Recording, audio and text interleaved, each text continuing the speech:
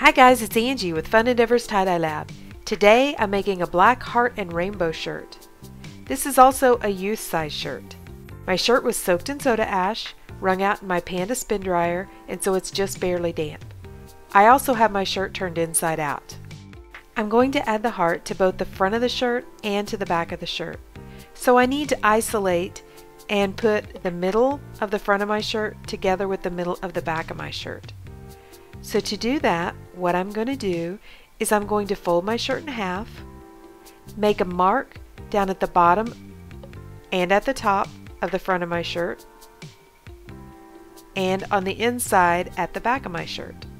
That's marking the middle of my shirt.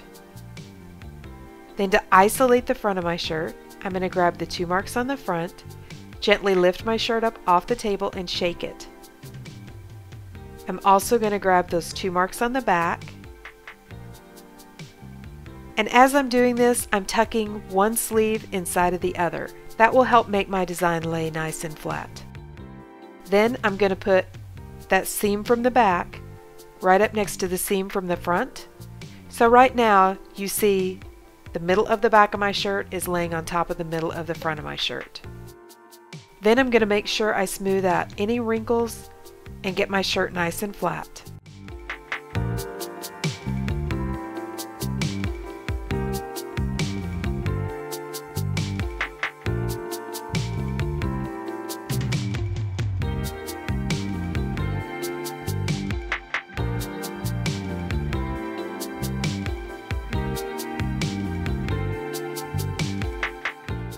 Now it's time to draw the heart on the shirt.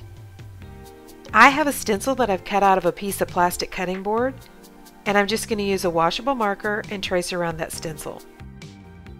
Then I'm going to fan fold this line beginning at the top of the heart. You want to make sure you keep your front and your back of your shirt sandwiched right up next to each other so that they don't move.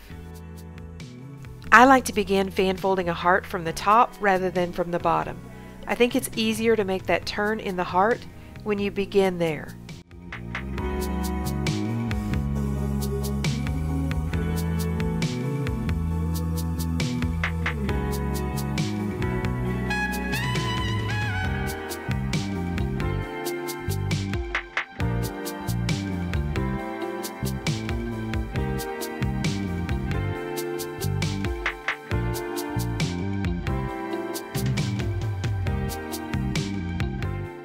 Once I have my heart fan folded, I'm going to tie it up with some sinew.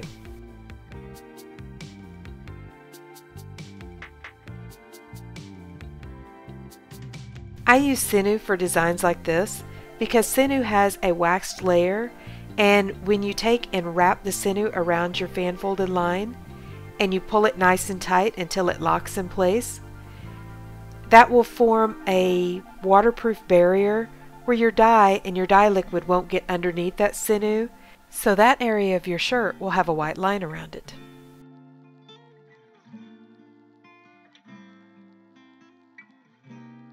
I also want to put one additional sinew line, not very far away from this one, just kind of as a little bit of extra definition for my heart.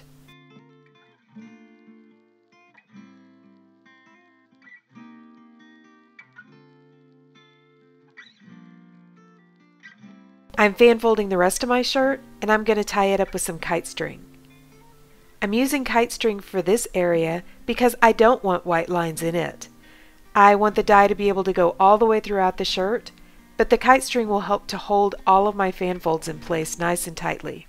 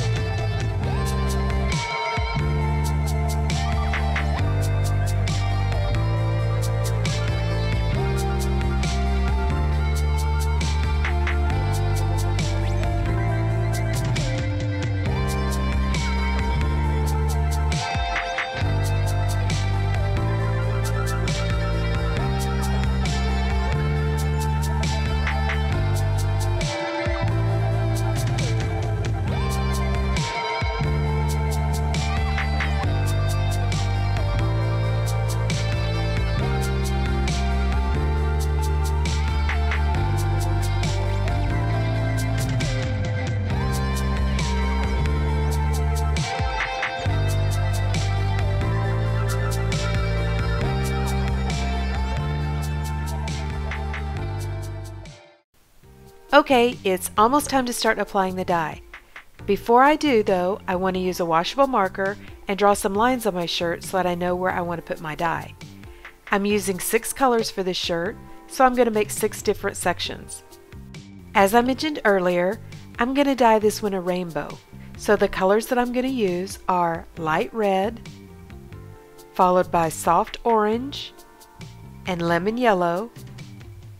Those colors are all Dharma Trading Company colors. Then I'm using Lime Twist from Custom Colours and Turquoise and Blue Violet from Dharma Trading Company. When I'm applying the light red, I'm taking that into that one little area too between the heart, that extra definition area that I tied with the sinew, I'm dyeing that one light red as well. I'm only going to apply these colors to the front of the shirt.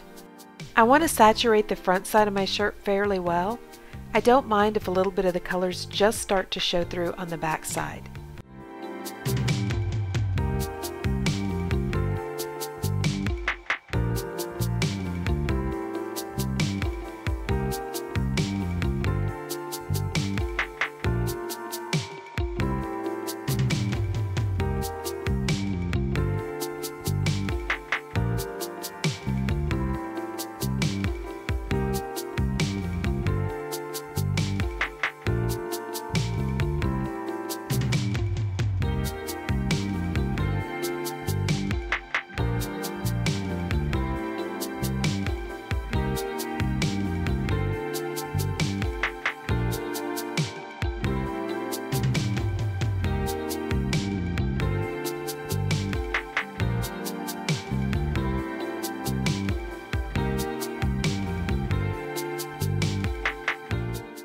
Then I'm going to dye my heart area black. And for this, I'm using Black Bang from Custom Colours.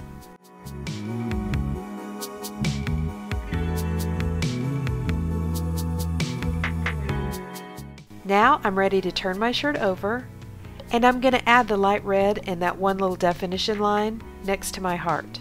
I'm going to put that on the back side as well. Then I'm going to dye the heart area black again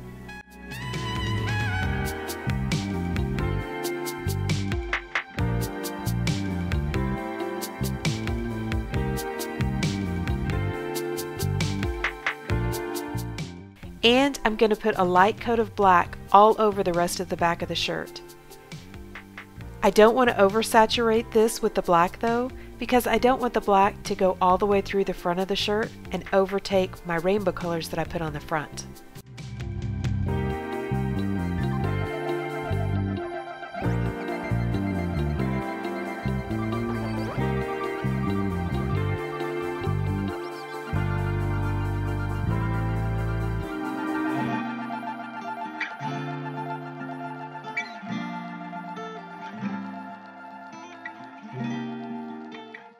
Then I'm going to turn my shirt back over and let it process with the rainbow side up. I waited 24 hours before I washed it, and this is what our shirt ended up looking like. If you're enjoying watching these videos, I sure would appreciate it if you would hit the big red subscribe button and subscribe to my YouTube channel. Thank you guys for watching, and I hope you have a great day.